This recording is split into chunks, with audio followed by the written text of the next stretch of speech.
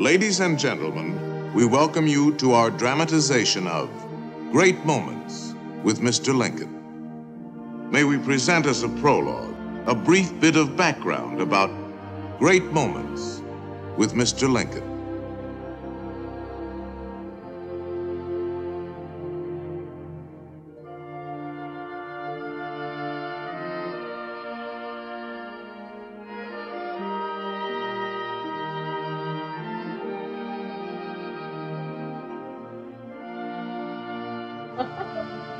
A member of the state legislature has to dress up to his job. Put it on. What else?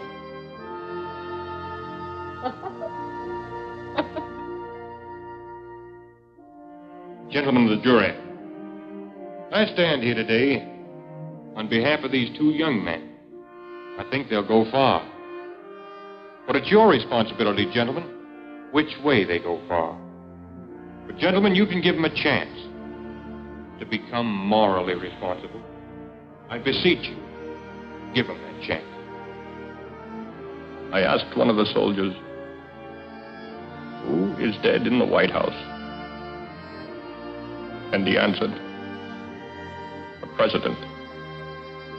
He was killed by an assassin. Ever since I was a youngster, I've had a great personal admiration for Abraham Lincoln. So when we decided to bring to Disneyland's visitors some great moments in Mr. Lincoln's life, we began an exhaustive research. We wanted to bring to the people of today the inspiring words of the man who held this nation together during its moment of greatest crisis, the Civil War. Now, to recreate a truly lifelike image of Lincoln, we use our new medium of audio animatronics. To start with, we were fortunate in being able to secure this life mask of the 16th president.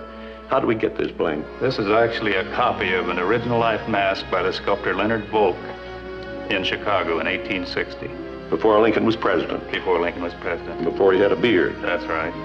Now, with this to start with, our sculptor, Blaine Gibson, has been able to create this very accurate likeness of this great man. During our exhaustive research into Lincoln's life, we studied his mannerisms, his gestures, and even his voice characteristics to create a faithful likeness of this honored man. The final result is so lifelike that you might find it hard to believe. Now, let's go into the Opera House and listen carefully to the words of Mr. Lincoln, spoken by him a century ago, but which still apply today to free men everywhere.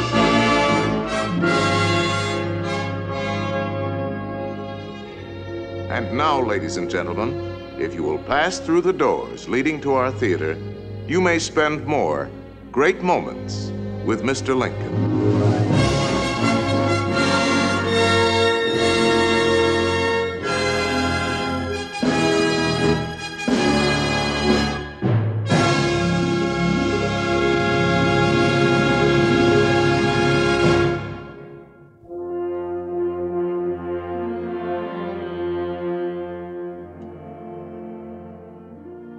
Ladies and gentlemen, this concludes our pre show. At this time, I'd like to ask everyone to please step toward the theater doors, and for your safety, stay behind the red line on the carpet as the automatic doors will open toward you. And please watch your step as you enter.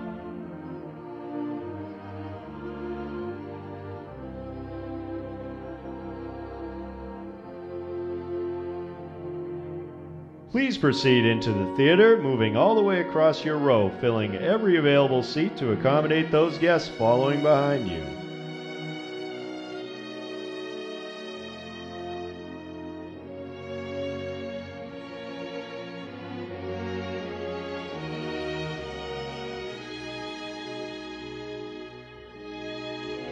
Ladies and gentlemen, welcome to the Disneyland Opera House and Great Moments with Mr. Lincoln.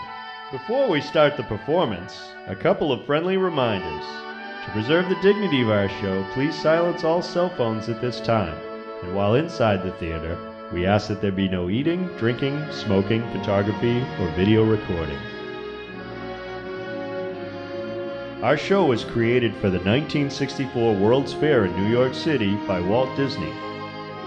He was a great admirer of our 16th president, so he wanted to use his new medium of audio animatronics to recreate these great moments for everyone to enjoy. And now it's with great pride and pleasure that Disneyland presents a few great moments with Mr. Lincoln.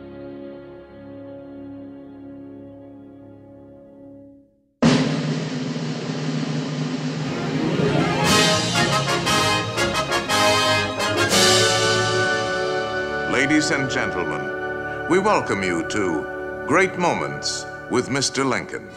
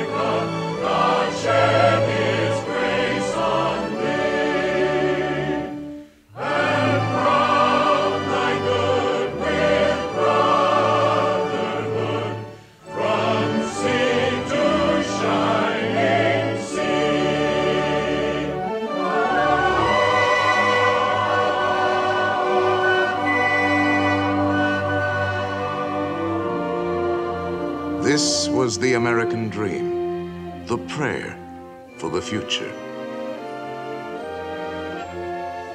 But that golden goal was not to be had without cost. The American way was not gained in a day. It was born in adversity, forged out of conflict, perfected and proven only after long experience and trial. In all of history, no man was dedicated to this dream more than the 16th President of these United States, Abraham Lincoln. Here in his own words is what he once wrote about himself. For at that time, very few people outside Illinois knew very much about this man from the prairie.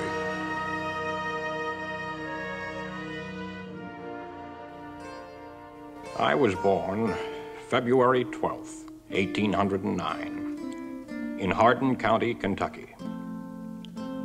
My father removed from Kentucky to what is now Spencer County, Indiana, in my eighth year. It was a wild region, with many bears and other wild animals still in the woods. There I grew up. I was large for my age and had an axe put into my hands at once. And from that to my 23rd year was almost constantly handling that most useful instrument. I think that the aggregate of all my schooling did not amount to one year. At 21, I came to Illinois. Thought of trying to study law. Rather thought I could not succeed at that without better education. I borrowed some law books, took them home, and went at it in good earnest. In 1854, the law profession had almost superseded the thought of politics in my mind. When the repeal of the Missouri Compromise aroused me as I had never been before.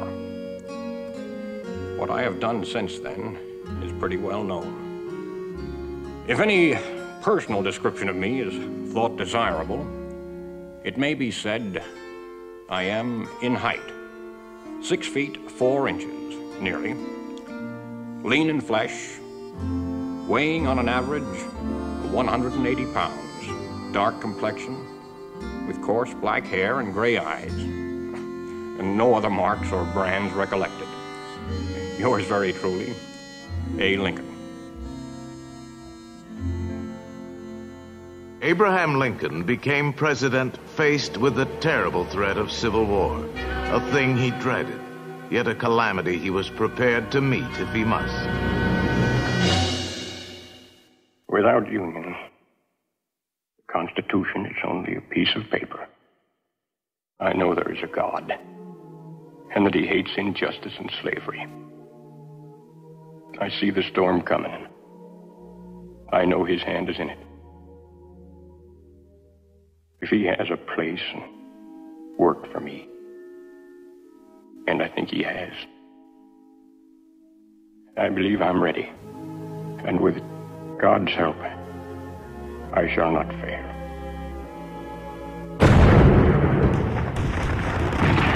April 12, 1861, Fort Sumter.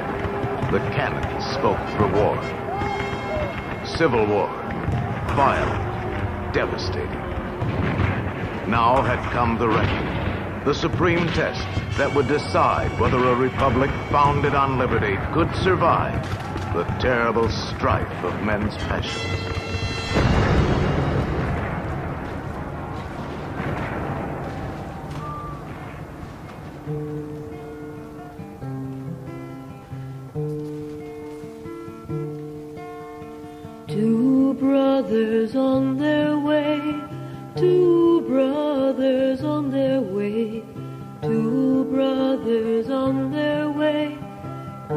Blue and one wore gray. One wore blue and one wore gray as they marched along their way. The fife and drum began to play all on a beautiful morning.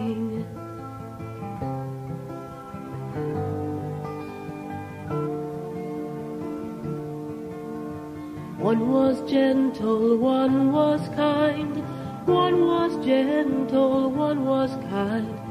One came home, one stayed behind. A cannonball don't pay no mind. A cannonball don't pay no mind if you're gentle or if you're kind. It don't think of the folks behind, all on a beautiful morning. All on a beautiful morning.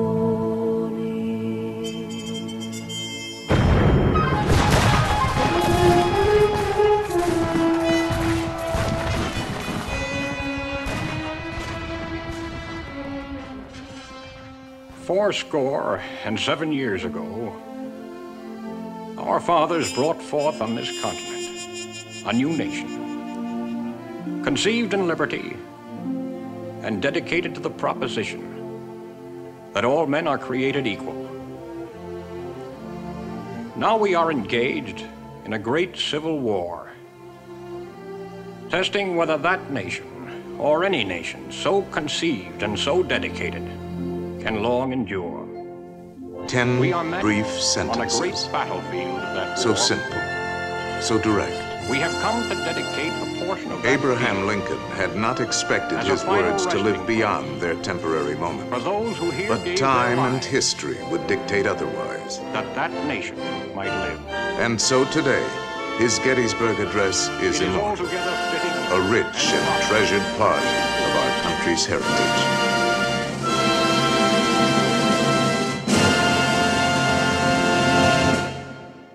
We pay tribute here not to a man who lived a century ago, but to an individual who lives today in the hearts of all freedom loving people. His prophetic words are as valid for our time as they were for his. And now, the skills of the sculptor and the talents of the artist will let us relive great moments with Mr. Lincoln.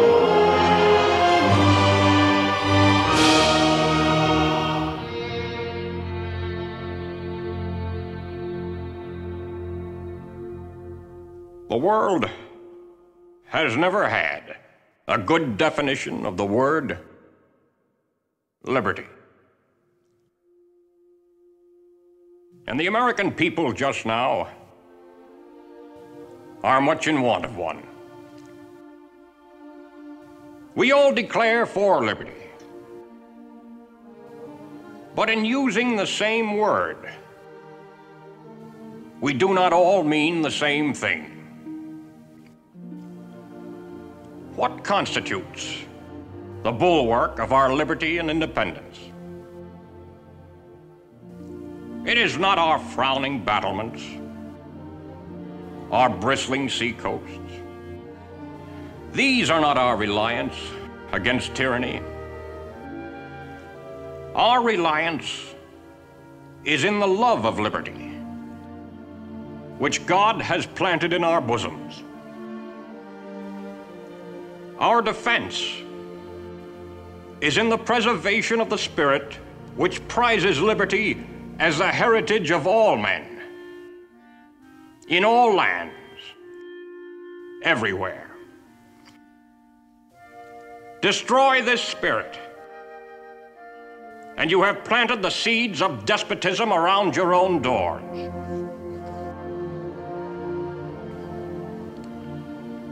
At what point shall we expect the approach of danger? By what means shall we fortify against it?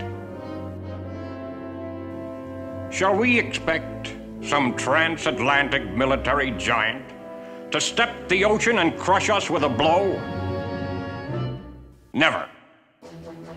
All the armies of Europe, Asia, and Africa combined could not by force take a drink from the Ohio or make a track on the Blue Ridge in a trial of a thousand years.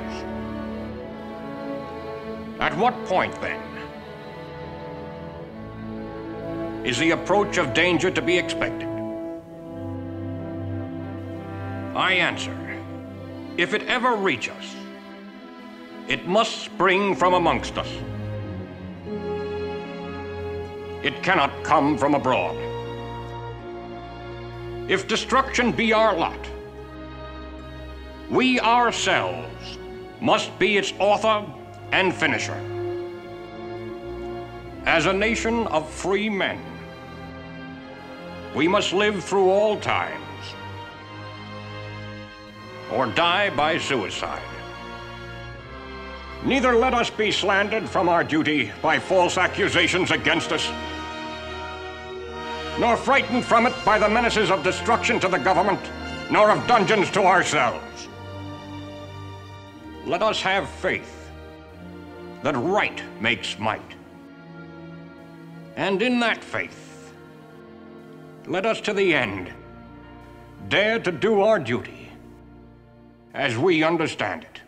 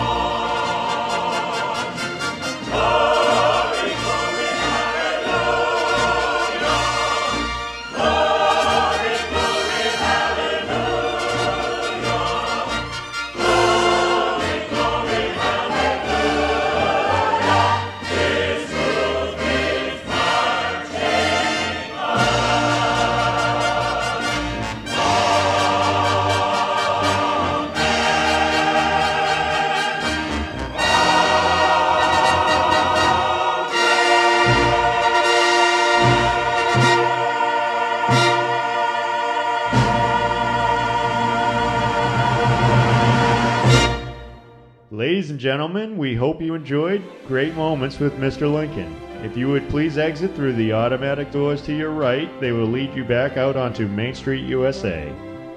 Please come back and visit us here again at the Disneyland Opera House.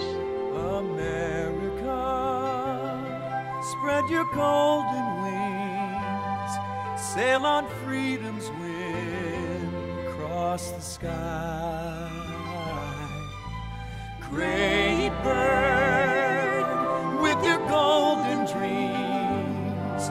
flying high,